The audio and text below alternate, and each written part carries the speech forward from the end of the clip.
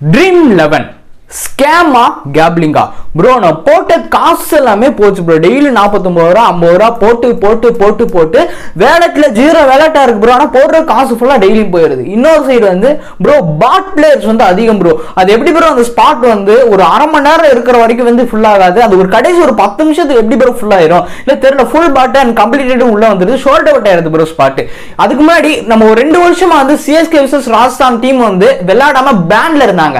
இந்த ஒரு விஷயம் வந்து எல்லாத்துக்கும் ஞாபகம் இருக்கும்னு நினைக்கிறேன். அது எதுக்காண்டி எந்த ஒரு காரணத்துக்காண்டி வந்து நடந்துச்சு? இந்த மாதிரி பல கொஸ்டின்ஸ் வந்து மக்கள் மத்தியில் வந்து வந்துட்டே இருக்கு. போடுற காசு எல்லாமே திருப்பி வந்து வரவே மாட்டேங்குது. எல்லா காசுமே வந்து ராமம் ராமம் ராமம் ராமமா வந்து போயிட்டு இருக்கு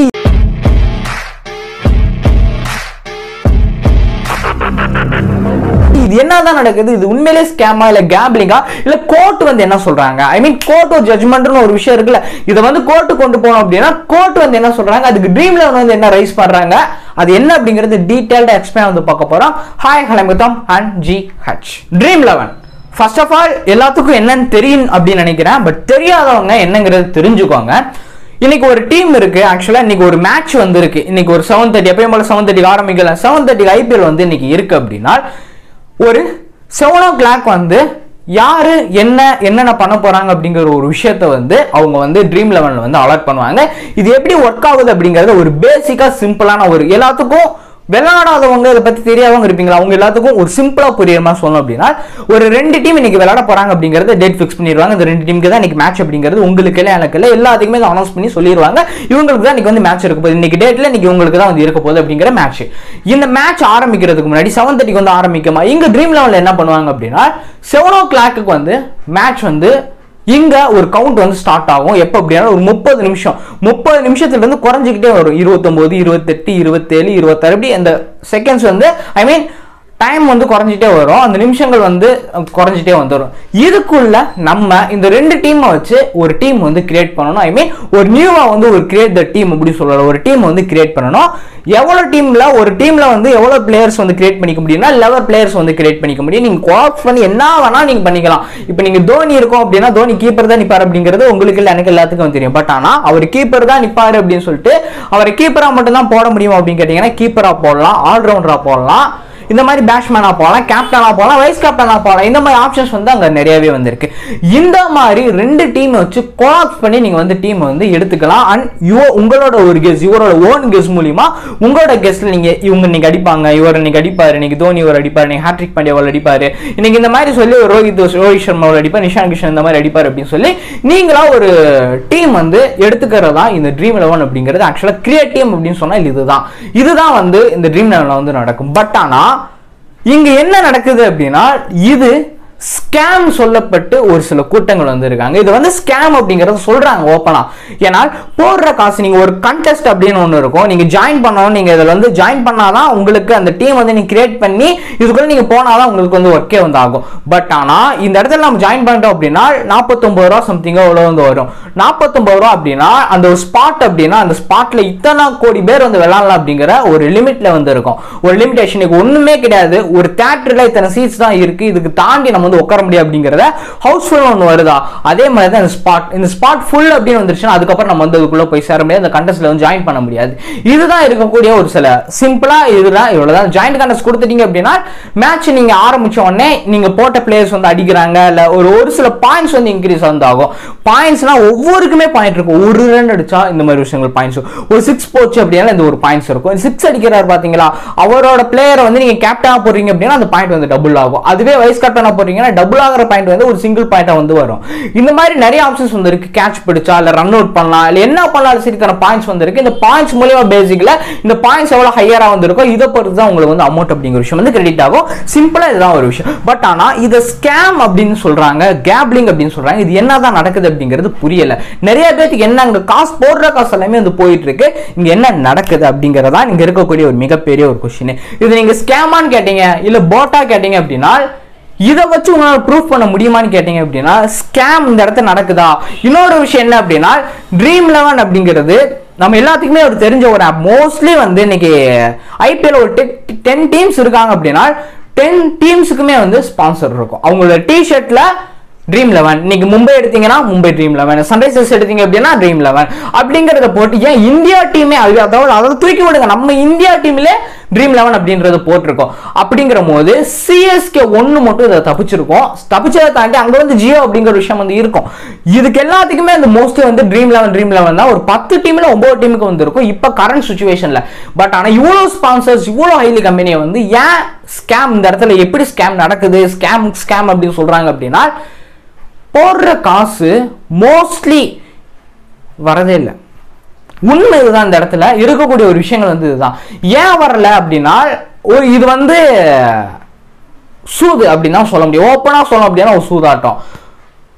உன் லக்கு நீ நினைச்சா அப்படின்னா நீ போடுற டீம் அன்னைக்கு நம்ம நம்ம போடுற டீம் வந்து அச்சுது ஜெயிச்சிச்சு அப்படின்னா நமக்கு தான் அந்த ஒரு கான்செப்ட்ல இந்த மாதிரி ஒரு கான்செப்ட்ல வந்து நம்ம ஒரு பேசிக்கா ஒரு எக்ஸாம்பிளுக்கு நான் சொல்றேன்.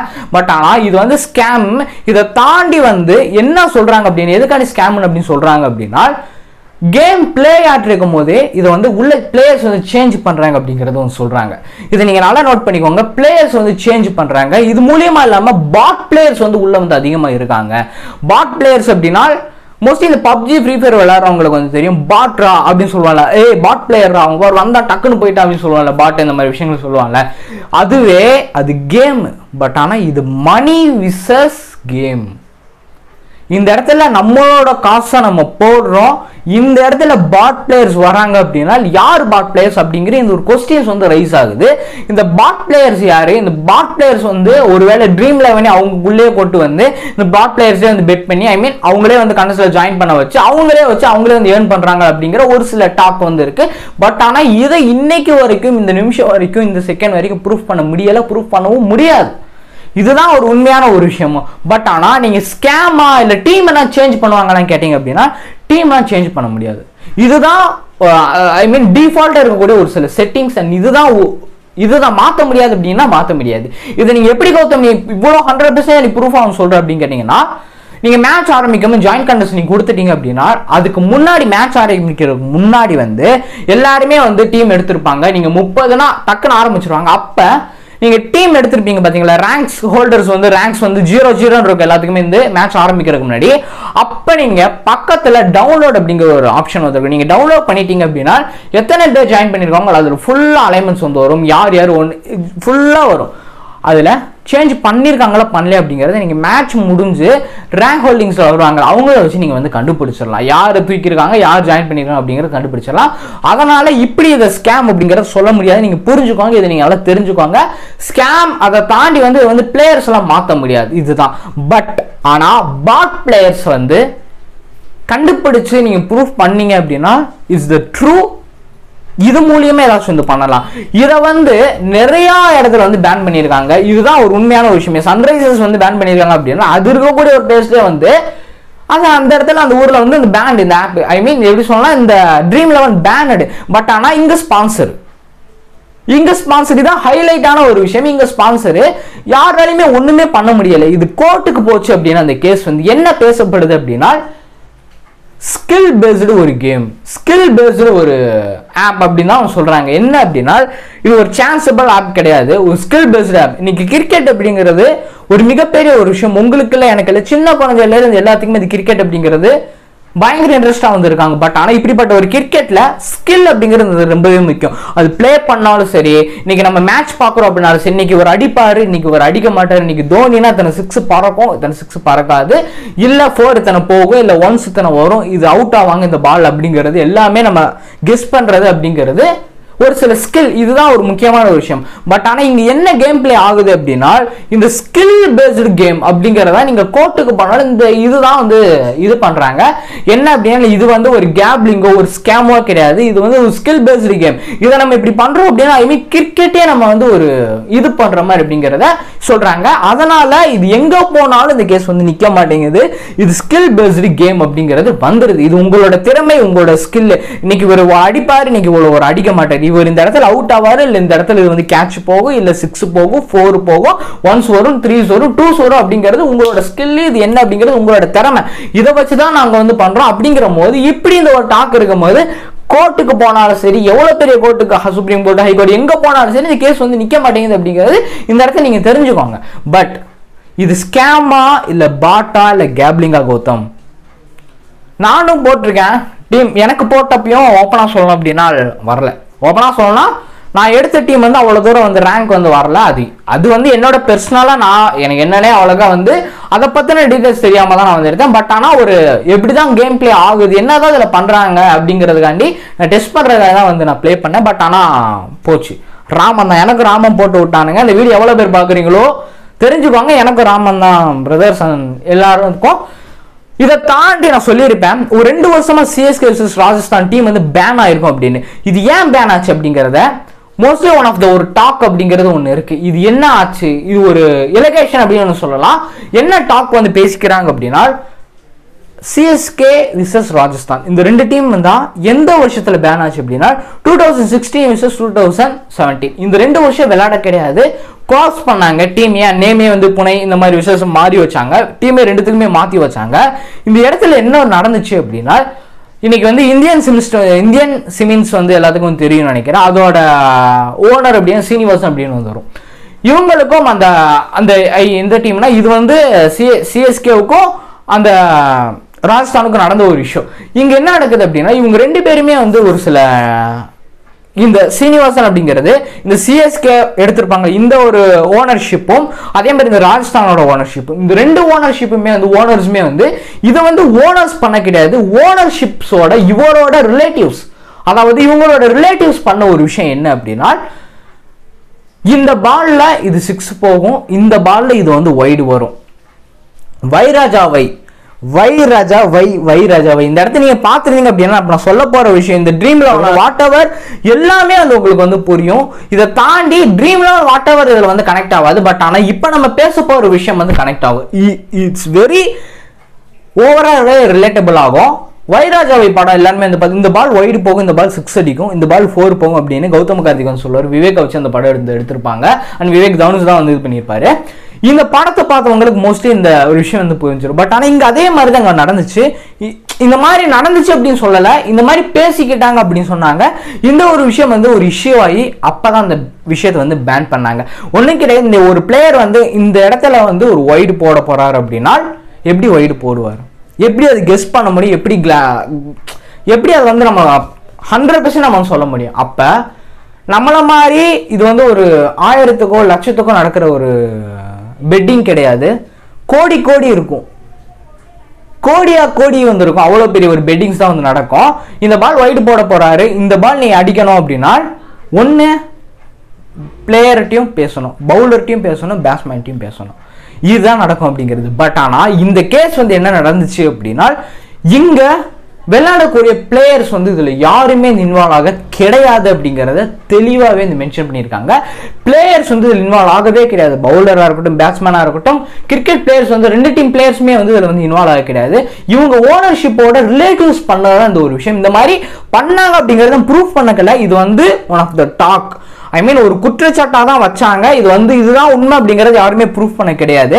பட் ஆனால் அந்த ஓனர்ஷிப்போட ரிலேட்டிவ்ஸ் வந்து இருக்காங்க. அவங்க வாழ்க்கை முழுக்க இது கிரிக்கெட் அப்படிங்கிறத வச்சு எதுவுமே நீங்கள் பண்ணக்கூடாது அப்படிங்கிறத ஒரு சில வந்து சொல்லிட்டாங்க. அவங்களோட லைஃப் டைமில் கிரிக்கெட் இந்த மாதிரி விஷயங்களை வச்சு எதுவுமே வந்து பண்ண முடியாது அப்படிங்கிறது தான் ஒரு உண்மையான விஷயம். லைஃப் டைம் ஒரு பனிஷ்மெண்ட்டாக வந்து கொடுத்துட்டாங்க.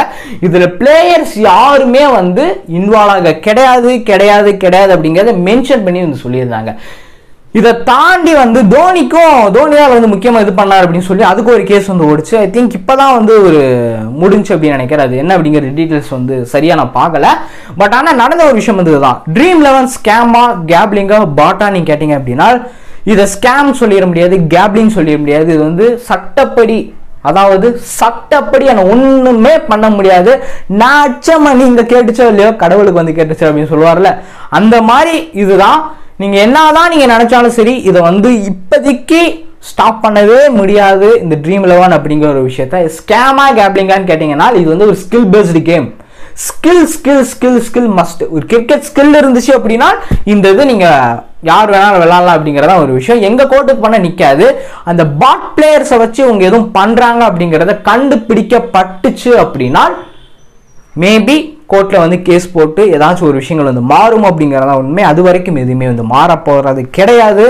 நீங்கள் என்ன சொன்னாலும் சரி என்ன பண்ணாலும் சரி இதுதான் ஒரு உண்மை இதுதான் ஒரு reality players players players I mean players கேட்டேன்னா நான் கிரிக்கெட் பிளேயர்ஸ் நான் சொல்ல கிடையாது. இந்த ட்ரீம் லெவன் பிளேயர்ஸ் சுதாரிச்சுக்கோங்க சேஃபாக இருந்துக்கோங்க. மணி ரொம்பவே உங்களோட மணி வேறு யாரோட மடிக்கிறேன் நீங்கள் கஷ்டப்பட்டு சம்பாரிச்ச ஒரு மணி. எப்படி செலவழிக்கணும் அப்படிங்கிறத பார்த்து செலவழிங்க அவ்வளோதான் நான் சொல்ல முடியும். இன்ட்ரெஸ்டிங்கான விஷயம் இருந்துக்கோ எனக்கு நம்ம சேனல் சேர்க்கலாம் மறக்காம வச்சுக்கோங்க என்ன நீங்கள் பெஸ்ட்டாக ஃபாலோ பண்ணி வச்சிங்களா? சோஷியல் மீடியாவில் கௌதம் சர்ச் பண்ணிங்கன்னா நம்ம சேனல் வரும். அது போய் மறக்காம ஃபாலோ பண்ணி வச்சுக்கோங்க. கீழே விசேஷ லிங்க்ஸ் பண்ணி கொடுக்குறேன். இன்ஸ்டாகிராம் ட்விட்டர் லிங்க்ஸ் பண்ணி கொடுக்குறேன். போய் மறக்க செக் பண்ணி மறக்காம ஃபாலோ பண்ணிக்கோங்க. அதுலேயும் day by day day by day new new contents வந்து உங்களுக்கு வந்து கிடச்சிட்டே வந்திருக்கோம். அடுத்த மீப்பலாம் பாய்